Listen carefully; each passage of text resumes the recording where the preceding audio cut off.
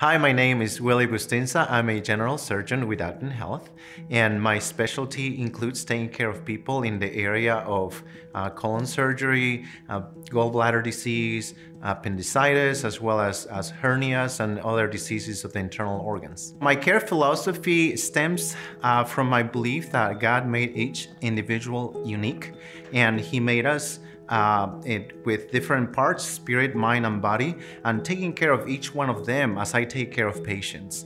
Um, I believe that if there's a spiritual need, that it will also impact the area, every area of your health. So I like to involve patients and families uh, as we care for the patient.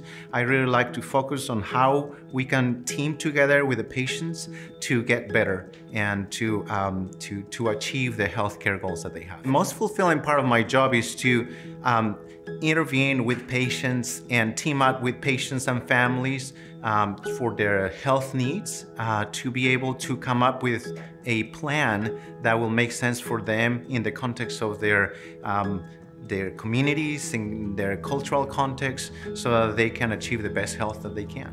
The things that I, I like to do for fun is um, going to the beach with my family. I really enjoy that a lot. We like taking walks in the afternoon together, um, like going to the pool as well, and enjoy swimming quite a bit and reading books.